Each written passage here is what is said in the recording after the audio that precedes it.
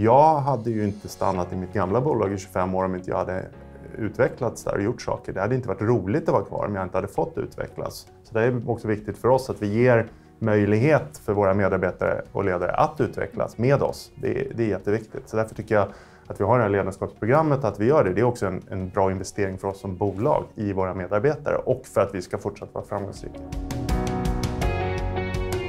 Du går ju det här för att du ska utvecklas som ledare. Så du ska inte vara rädd att dela med dig av vad du tycker. Du ska våga vara öppen och prata inför gruppen och liksom dela med dig. Jag vet att det kan vara jobbigt ibland.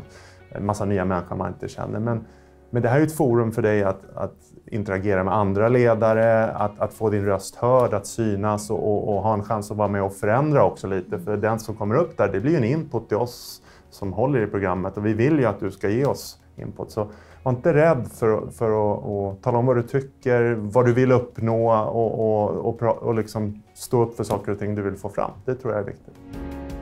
Återkoppling som vi har då fått genom det här ledarskapsprogrammet är ju jätteviktigt. För det är ett sätt för oss att fånga upp signaler och, och, utmaningar som vi kan behöva jobba ännu mer med. Så det är jätteviktigt. Eh, men det ska ju inte stanna bara i ledarskapsprogrammet utan det är något som vi vill att alla ledare gör hela tiden kontinuerligt.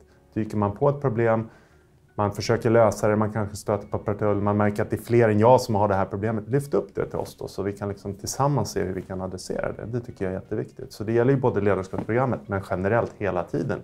Eh, tillsammans blir vi ju bättre och då måste vi hjälpas åt.